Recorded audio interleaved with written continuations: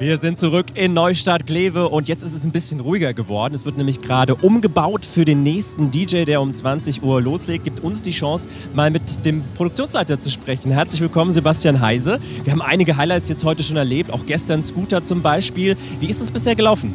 Also wir haben bisher ein sehr positives Festivalerlebnis. Das Wetter war uns hold, die Gewitterwolken sind mal gerade an uns vorbeigeflogen. Wir haben zwei sehr gute Tage gehabt, sehr fröhliche Gäste hier und wir sind in voller Erwartung auf den heutigen Abend.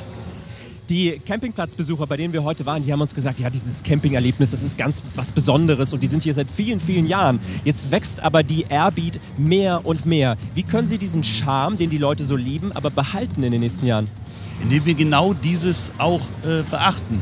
70, 80 Prozent vom Festivalerlebnis ist einfach das Camping, weil es ist wie eine Urlaubswoche.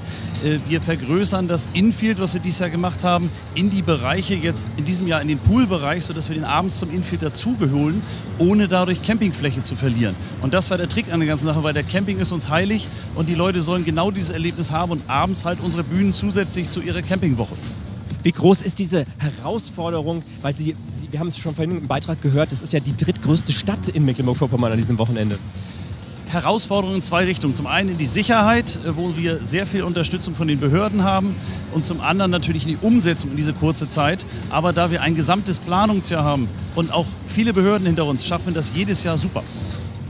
Was ist heute Abend noch, die, noch das Besondere? Paul Kalkbrenner zum Beispiel, der wird nochmal hier für volle Hütte sorgen. Wie, wie wird dieses Festival aber dann grandios zu Ende geführt? Also wir haben natürlich als größtes Highlight heute Abend unsere riesen Timecode Feuerwerksshow, die hier um 1.30 Uhr stattfindet.